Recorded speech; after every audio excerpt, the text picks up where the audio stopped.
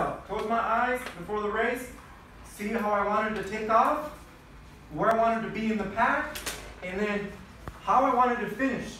And I always saw myself coming in first. Always. You get that? Okay? You visualize yourself as being successful in any endeavor you undertake, you will be. Okay? If you don't visualize yourself winning or coming in first in a performance or being successful in life, it's never going to happen.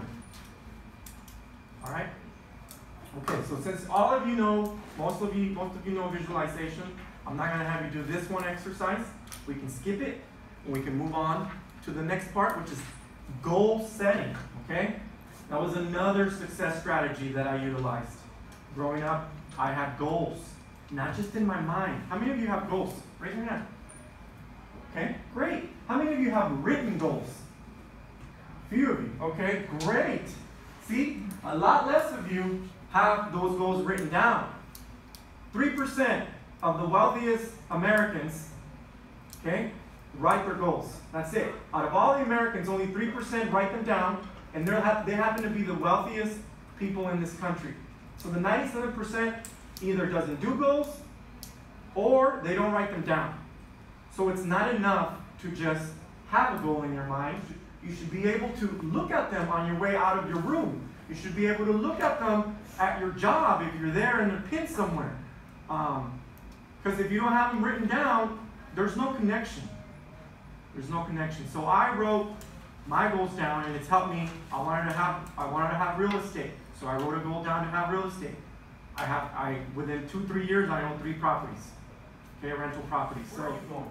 Do you have a destination? If you don't have a destination, you're just all over the place. So a goal is a destination, right? But taking action is more important than just having the written goal down. Okay? Because if you have a written goal down, okay, I want to, by the end of uh, 2017, uh, I want to have 100 new Instagram subscribers. Let's just say, I just threw that out there. Okay, if I just write that down, and I see it every day, I read it, but I don't do anything about it, am I going to meet that goal? No. So you see, taking action is like 90% of it. 10% is writing it down, 90% is taking action.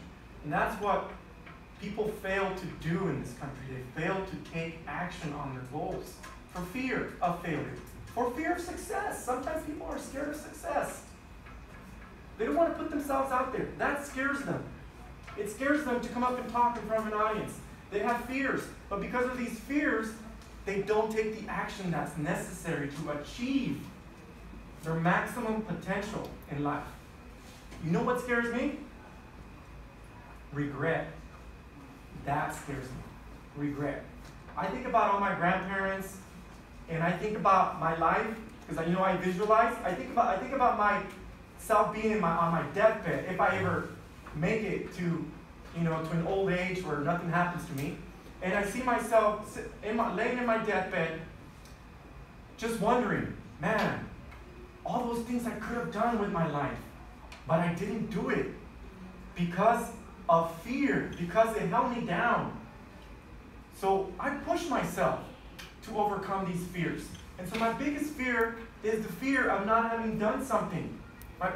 I would have I would have flown here if I had to from Oceanside.